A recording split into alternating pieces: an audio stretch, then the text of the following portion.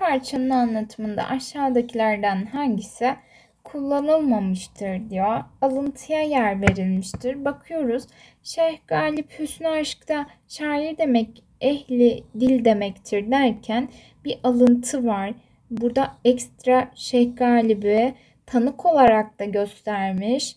C örneklerle düşünce pekiştirilmiştir. Şeyh Galip'i söyleyerek bir örnek vermiştir bu burada. D benzetmelerden yararlanılmıştır. Ben bir orman yangınına benzetirim şiirimi derken yine aynı şekilde benzetme yapılmış. E tahminde bulunulmamıştır. Yani cevabımız E seçeneği. Bu parçanın anlatımında aşağıdaki duyu organlarından hangisi kullanılmamıştır diyor. Burada çünkü şehrin sokağı, camisi, dükkanı bunlar hep görme duyusuna ait. Sonrasında bir bakarsınız adam elini cebine atar, oturduğumuz masaya iki elma koyar diyor. Ve yine bir koku, koklama duyusu, kütür kütür işitme duyusu ve tatlı mı tatlı sonra tatma duyusuna ait. Yani cevabımız E seçeneği. Bu parçanın anlatımında aşağıdakilerden hangisine başvurulmamıştır diyor. A. Bazı yargıları benzetme ile somutlaştırma. Burada geometrideki gibi kusursuz hareketler dediği için benzetme vardır. B. Alıntıyla düşünceyi pekiştirme. Herhangi bir alıntı görünmüyor parçada.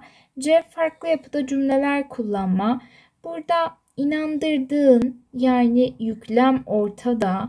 Burada gerekmiyor derken yüklem sonda farklı yapıda kurallı ve kuralsız devrik cümleler vardır. D. Olayları taraflı bir biçimde anlatma. Parçanın tamamında kendi düşüncelerinden bahsettiği için taraflıdır. E. Birinci kişinin ağzından anlatma. Hiç önemsemedim. Kim? Ben. Birinci kişi.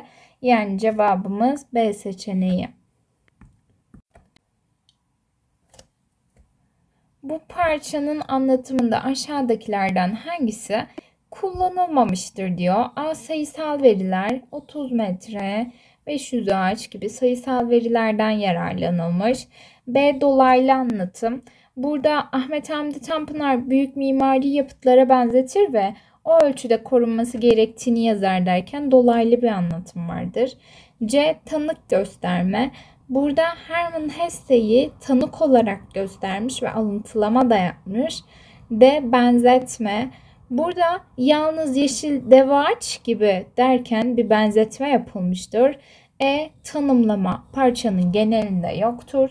Yani cevabımız E seçeneği.